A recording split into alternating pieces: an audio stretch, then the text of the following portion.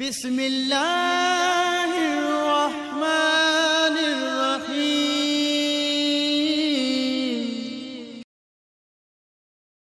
نحمده ونصلي على رسوله الكريم. أما بعد فأعوذ بالله من الشيطان الرجيم. بسم الله الرحمن الرحيم. وإذا سألك عبادي عني فإني قريب أجيب دعوة الداعي إذا دعاني فليستجيبوا لي وليؤمنوا بي لعلهم يرشدون صدق الله العظيم محترم سامعین السلام علیکم ورحمۃ اللہ وبرکاتہ۔ رمضان المبارک کا مقدس مہینہ جا رہا ہے۔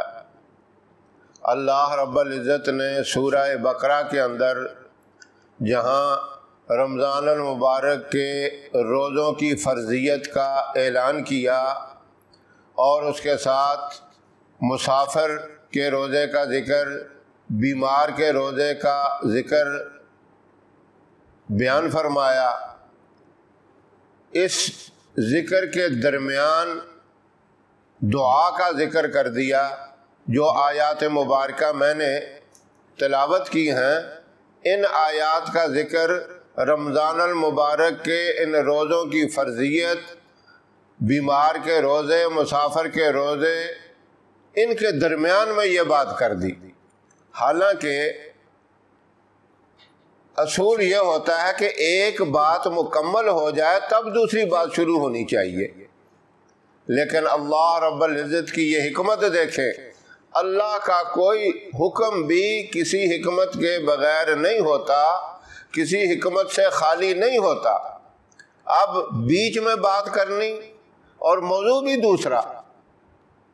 رمضان المبارک کے روزوں کا حکم، اس کی فرضیت کا اعلان بیمار مسافر کے روزے، شہری افطاری کا ذکر اور بیچ میں دعا کا ذکر آ گیا۔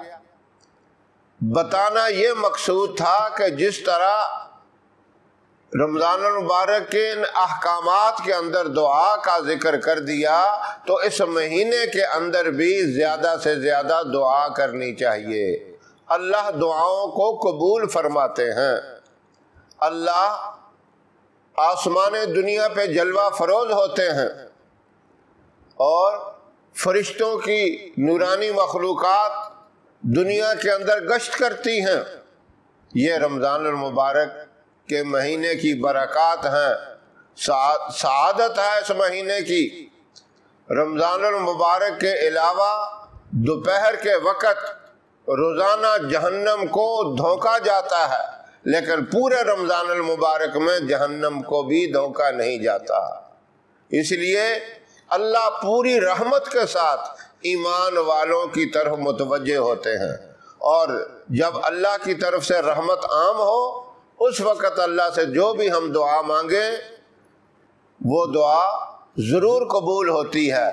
شرط یہ ہے کہ وہ دعا قطع رشتے، ناطے کے کو قطع تعلق کرنے کی نہ ہو اور اسی طرح کسی کو اذیت پہنچانے کے لیے دعا نہ کی جائے، جائز دعا اپنے لیے ہو، پوری امت کی بھلائی کے لیے ہو، اولاد کے لیے ہو، کاروبار کی ترقی کے لیے ہو، بیماریوں سے نجات حاصل کرنے کے لیے دعا ہو، یہ ساری دعائیں جائز دعائیں ہیں، اللہ قبول فرماتے ہیں۔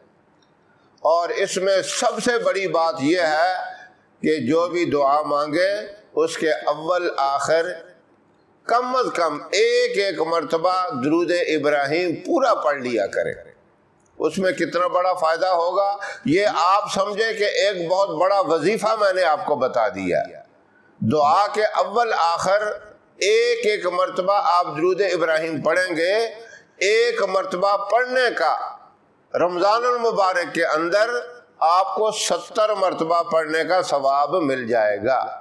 یعنی پہلے آپ نے پڑھا دعا سے تو ستر مرتبہ کا وہ ثواب مل گیا اور دعا کے آخر میں جو پڑھا ستر مرتبہ اس کا بھی ثواب مل گیا۔ یہ ایک سو چالیس مرتبہ آپ کو درود پاک پڑھنے کا ثواب مل گیا اور درود پاک جب پڑھا جاتا ہے تو فرشتے ایک جماعت ہوتی ہے، وہ فوراً حضور صلی اللہ علیہ وسلم کے قلب اطہر تک پہنچا دیتے ہیں اور بتاتے ہیں فلاں بن فلاں نے یہ درود پاک پڑھا۔ فلاں بن فلاں بندے نے یا فلاں بن فلاں بندی نے یہ درود پاک پڑھا؟ تو آپ صلی اللہ علیہ وسلم پر جب درود پاک کا وہ پیغام پہنچتا ہے، آپ کا چہرہ مسکرا اٹھ جاتا ہے، کھل کھلا جاتا ہے۔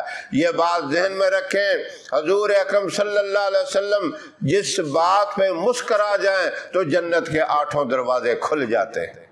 آپ کا مسکرانا جنت کے دروازوں کو کھول کھول دیا جاتا ہے اور آپ کا غصے میں آ جانا آپ کا کسی بات پہ ناراض ہو جانا جہنم بڑک اٹھتی ہے، تو آپ حضور صلی اللہ علیہ وسلم کو درود پاک کے ذریعے جب خوش کر دیں گے، تو اللہ رب العزت کا یہ حکم ہے، اگر تم چاہتے ہو، میں تمہارے اوپر رحمتیں نازل کروں، تمہاری دعاؤں کو قبول کروں، تمہاری دعاؤں کو سنوں، تمہاری پریشانیوں کو دور کروں تم میرے محبوب کو راضی کر لو۔ جس نے میرے محبوب کو راضی کر لیا، میں اس پہ راضی ہو گیا۔ یہ کتنا بڑا انعام ہے۔ یہ انعام بارہ مہینے ہے، لیکن اگر رمضان المبارک کے بعد آپ نے ایک مرتبہ درود پاک پڑھا تو آپ کو ایک ہی مرتبہ پڑھنے کا ثواب ملے گا۔ ایک مرتبہ پڑھنے کا ثواب بھی یہ ہے کہ دس گنا معاف ہو گئے، دس درجات بلند ہو گئے اور دس رحمتیں اللہ کی طرف سے نازل ہو گئیں۔ اب رمضان المبارک میں ہر چیز کو ستر کے ساتھ ضرب لگ جاتی ہے۔ اب دس رحمتوں کو ستر کے ساتھ ضرب لگا دیں۔ کہاں تک پہنچ گیا؟ دس درجات بلند ہوتے ہیں۔ اب اس دس کے ساتھ بھی ستر کو ضرب لگا دیں تو کتنے درجات آپ کے بلند ہو جائیں گے؟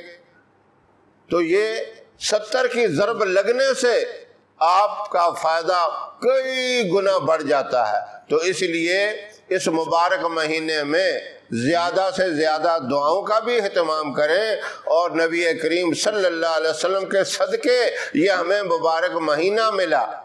اور آپ زیادہ سے زیادہ اس مہینے کے اندر درود پاک بھی پڑھیں۔ دعا کے علاوہ ویسے بھی کثرت سے پڑھیں، کیونکہ دعائیں اتنی قبول ہوتی ہیں۔ ابراہیم علیہ السلام نے دعا کی، اللہ نے آتش نمرود سے نجات دی۔ یونس علیہ السلام نے دعا کی، اللہ نے مچھلی کے پیٹ سے ان کو آزاد کیا۔ اسی طرح عیسیٰ علیہ السلام نے دعا کی، اللہ رب العزت نے ان کو اپنی حفاظت میں لے لیا۔ اب بھی آسمانوں پہ وہ زندہ ہیں، حیات ہیں۔ اس بات کا ہمارا ایمان ہے۔ قرآن پاک نے یہ بتایا۔ نبی کریم صلی اللہ علیہ وسلم نے دعا کی۔ معراج کا خزینہ مل گیا۔ رمضان المبارک کا مہینہ مل گیا۔ خوشبودار پسینہ مل گیا۔ آپ بھی دعائیں کریں۔ حضور صلی اللہ علیہ وسلم کے توفیل ساری دعائیں قبول ہوں گی۔ رحمتیں نازل ہوں گی۔ برکتیں نازل ہوں گی۔ اتنی رحمتیں اور برکتیں ہوں گی۔ آئندہ اگلے رمضان تک اللہ کی رحمتوں کے ساتھ آپ شامل حال رہیں گے، برکتوں کے ساتھ شامل حال رہیں گے۔ اللہ کی طرف سے انعامات کی بارش برستی رہے گی اور زندگی رہی تو اللہ پھر توفیق بھی عطا فرمائیں گے۔ زندگی نے ساتھ نہ دیا تو یہ رحمتیں، برکتیں، انعامات لے کر آپ اللہ کے پاس جائیں گے۔ اللہ بھی راضی ہوگا۔ اللہ مجھے بھی آپ تمام سامعین کو اس مبارک مہینے کے اندر زیادہ سے زیادہ دعائیں مانگنے کی اور زیادہ سے زیادہ درود پاک پڑھنے کی توفیق عطا فرمائے۔ ہماری ویڈیو آپ کو پسند آئے اسے لائک کریں، شیئر کریں، ہمارے چینل کو سبسکرائب ضرور کریں اور ساتھ والے بیل ایکن بٹن کو دبائیں تاکہ ہماری ہر آنے والی ویڈیوز کی اپ ڈیٹ آپ تک آسانی سے پہنچ سکے۔ اللہ آپ کا حامی و ناصر رہے۔ انشاءاللہ پھر کسی نئے وظیفے کے ساتھ آپ کی خدمت میں حاضر ہوں گے۔ تب تک کے لیے اجازت دیں۔ السلام علیکم ورحمۃ اللہ وبرکاتہ۔